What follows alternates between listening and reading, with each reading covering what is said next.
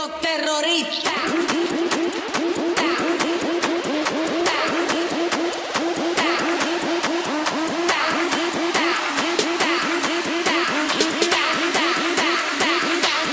do the Harlem Shake.